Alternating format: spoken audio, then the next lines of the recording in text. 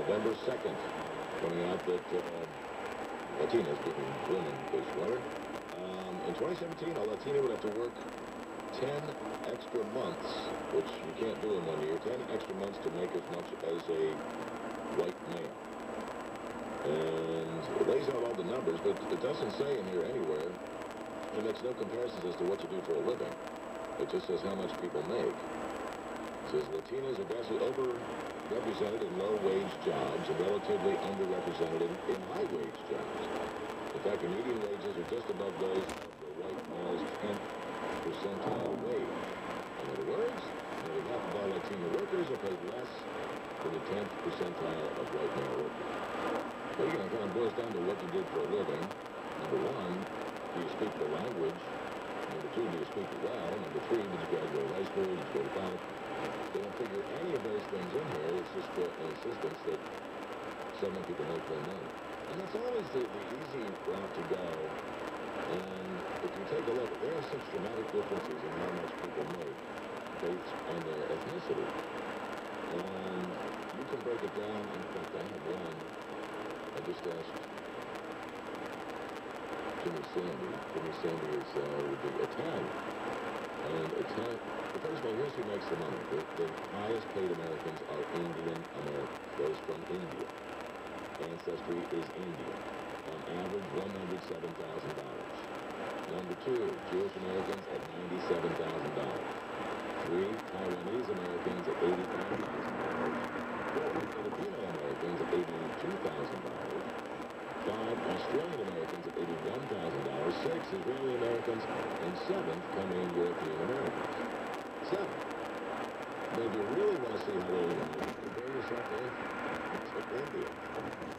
Um, it's and this is one of those, every time you hear the claim of uh, white privilege or whatever, whenever that comes out, apparently we're not that good at it, if that's the name of the game, because Indians and Taiwanese and Filipinos and others are really taking our butts financially. They make far and away the most money.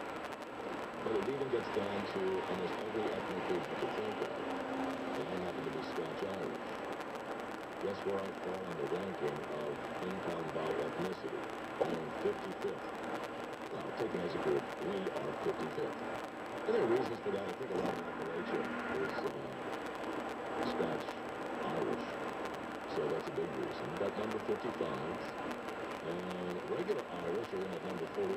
Those making more than Scotch Irish Americans. Number 54, you're Nigerian American, Pakistani Americans, Slavic Americans, Canadian Americans, Albanian Americans, Vietnamese Americans, Portuguese, French, Palestinians.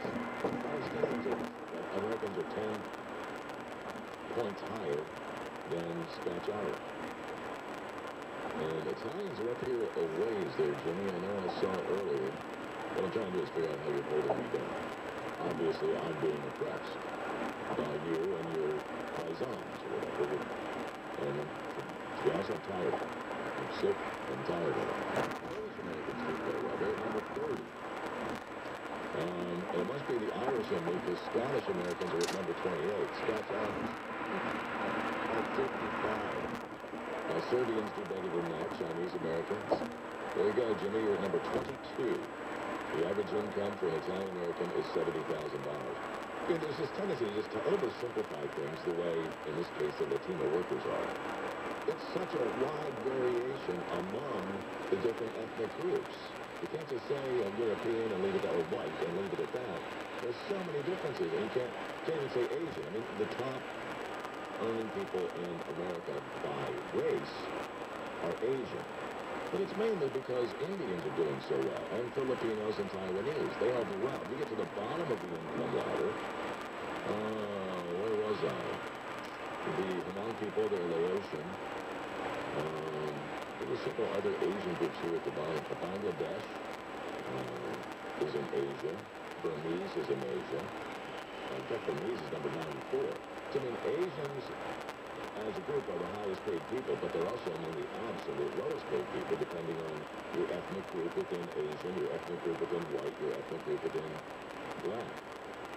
Uh, in the latter category, the lowest paid, and largely because they're pretty new to the country, Somalis. Somali Americans average $22,000 in a nice place.